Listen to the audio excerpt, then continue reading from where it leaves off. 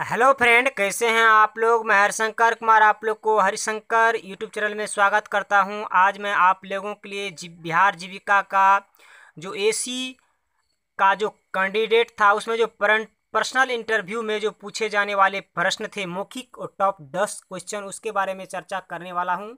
अगर फ़िलहाल आप लोग इस वीडियो को पहली बार है तो आप लोग चैनल को सब्सक्राइब कर दे और बेलाइकन को प्रेस कर दे ताकि इसी तरह का टॉप क्वेश्चन और इसी तरह का नए नए वीडियो मिलता रहेगा। तो सबसे पहले मैं आप लोग से गुजारिश करना चाहता हूँ कि आप लोग एक पेन ले ले और एक जो होता है कॉपी नोटबुक वह तैयार कर ले और क्वेश्चन को लिखना प्रारंभ करें।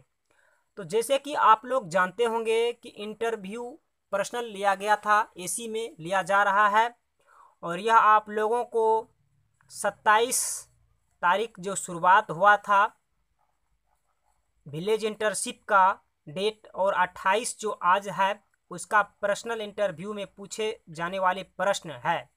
तो सबसे पहले आप लोगों को वहाँ पे जो पूछा गया था कैंडिडेट से कि जीविका क्या है, जीविका के बारे में क्या जानकारी है आपको? तो जैसे कि आप लोगों को मेरे दोस्तों पता होगा कि बिहार सरकार का चलाया गया जीविकोपार्जन के अंतर्गत यह एक जीविका परियोजना चलाया गया और यह एक गरीबों को आर्थिक स्थिति मज़बूत करने के लिए सरकार का यह परियोजना चलाया गया है। और दूसरा सवाल था कि आपको जो जीविका में जो सैलरी मिलता है, एसी के लिए अभी उन्नीस हज़ार पाँच सौ है, क्या इसमें आपका घर का, परिवार का मेंटेनेंस हो पाएगा? तो आप लोग को वहाँ तो जवाब देना है पर्सनल इंटरव्यू के रूप में कि सर, जो ने बिहार सरकार का पहल चलाया गया और जीविका के अंतर्गत जो ये डायरेक्टर हैं, उसके द्वारा जो यहाँ पे मानदेय फिक्स किया गया है, वो हम लोगों के लिए एक बहुत सम्मानजनक मानदेय है और जिस हिसाब से हम लोग से काम लेते हैं, उसी हिसाब से हम लोग को मानदेय दिया जाता है। और तीसरा सवाल था कि आपका क्वालिफिकेशन क्या है? और आपका पढ़ाई जारी है या नहीं है? तो आप लोग पूछिए कि यह क्यों बोला गया? क्योंकि हम अधिकतर, हम भी अधिकतर लगभग इंटरव्यू दे चुके हैं पर्सनल इंटरव्यू जिसमें अधिकतर सवाल यह उठता है कि आपका क्वालिफिकेशन क्या है? वह तो आपका देख लेता है क्या कहते हैं बायोडाटा से, लेकिन फिर भी पूछता है। और वह पता कर ले सकता है उससे कि आपके जो मौखिक प्रश्न में कि क्या आप उसके लायक हैं या नहीं है, और आपका पढ़ाई चल रहा है कि नहीं चल रहा है। क्योंकि पढ़ाई वाले स्टूडेंट को तो कम से कम बहुत ही कम चांस मिलता है। नब्बे पचहत्तर परसेंट मान के चलिए, नहीं भी पच्चीस परसेंट अनुमान लगाया जाता है, क्योंकि वो यह समझता है कि जीविका एक बिहार सरकार का तीन साल का कॉन्ट्रैक्ट बेसिस पे है और तीन साल के बाद आपको हटा भी सकता है। लेकिन जब तक बिहार सरकार का जीविका चलता है, तब तक आपका नौकरी सुरक्षित है। वहाँ पे जवाब आप लोग को देना है कि, सर, अगर आपका पढ़ाई ख़त्म हो गया तो वहाँ बोलना है कि, सर, मेरा पढ़ाई ख़त्म है और मैं आगे अभी पढ़ाई अब नहीं करना चाहता हूँ। घर, परिवार, मेरा सब कुछ को देखना है। लेकिन चौथा सवाल आपसे पूछा जाएगा, आप पूछा गया कि आप मैरिड हैं या अनमैरिड हैं? मेरे दोस्तों, मैरिड और अनमैरिड में बहुत फ़र्क है। अनमैरिड स्टूडेंट को अगर नौकरी सरकार देती है तो वह उस नौकरी को दूसरे जॉब जाने में छोड़ भी सकता है और लापरवाही करता है। और जो मैरिड है, उसको पैसे की सख्त ज़रूरत होती है। तो इसीलिए वह उस नौकरी को करना चाहता है। तो जवाब देना है कि, सर, इस नौकरी को करने के लिए हमको ज़रूरत है। हमें घर परिवार को देखना है, बाल बच्चे का पढ़ाई करना है, अपना भी मेंटेनेंस करना है और इससे घर परिवार भी चल सकता है। इसीलिए इस नौकरी को हम करना चाहते हैं। तीसरा सवाल कि जीविका स्वयं सहायता समूह के बारे में आप क्या जानते हैं? पांचवा सवाल था। और तो आपको बताना है कि जीविका समूह जो दीदी है वह आपको 10 से 12 दीदी मिलाकर एक समूह बनाया जाता है। और उस समूह में सात रोज में बैठक होता है, साप्ताहिक बैठक होता है। और प्रत्येक दीदी दस रुपये बचत करती है। और मासिक जो होता है, वह ऋण लेन देन करता है। और जो सीएम दीदी होते हैं, उस समूह का प्रत्येक साप्ताहिक लेखा जोखा करता है।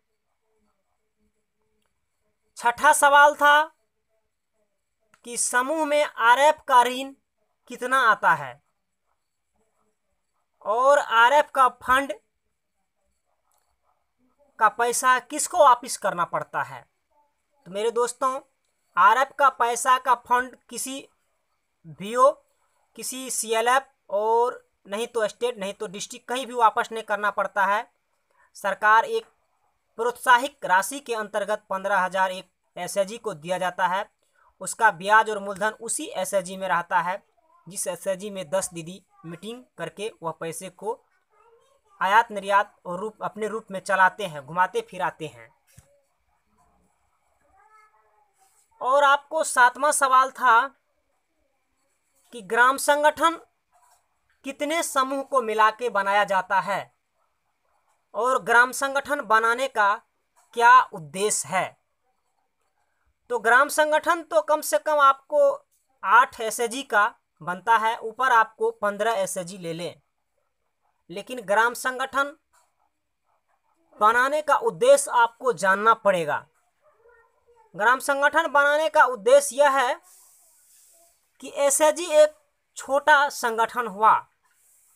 छोटी ज़रूरतों को आप एस से पैसा ले लेके दीदी को दे सकते हैं और पूरा कर सकते हैं। लेकिन बड़ी ज़रूरत होने के बाद आपको एक ग्राम संगठन की ज़रूरत पड़ता है और वहाँ पे दस एस एच जी, पंद्रह एस एच जी के दीदी बैठते हैं। एक नहीं, दस की बातें वहाँ पे सुनी जाती है। इसीलिए हमको ग्राम संगठन बनाना अति आवश्यक है। और सीसी को आठवां सवाल था कि सीसी का काम क्या होता है? Community coordinator.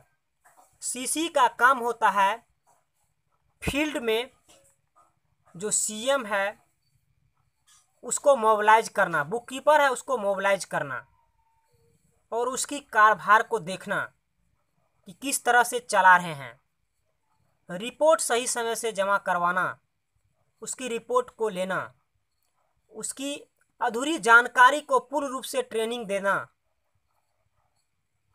ये आप लोग की टॉप क्वेश्चन था। आठवां सवाल था कि जीविका आपको क्यों नौकरी देगा?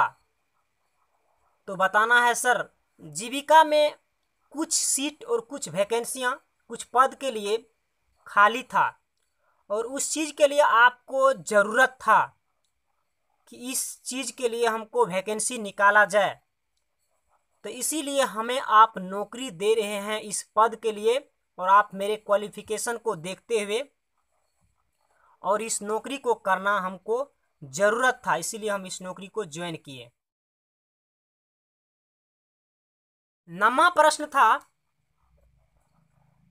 ग्राम संगठन का मीटिंग कितने दिनों पे किया जाता है? ग्राम संगठन का मीटिंग महीने में एक बार किया जाता है। उसमें किस तरह का फंड आता है? आरएफ का फंड आता है पचास हज़ार, एफएसएफ का फंड आता है कैटेगरी वाइज और एसटी को देखते हुए आजकल एक लाख दिया जाता है। बीओ समान ऋण बीओ में आता है, वही समान रिप में जाता है सीआईएफ का पैसा। एसएचजी में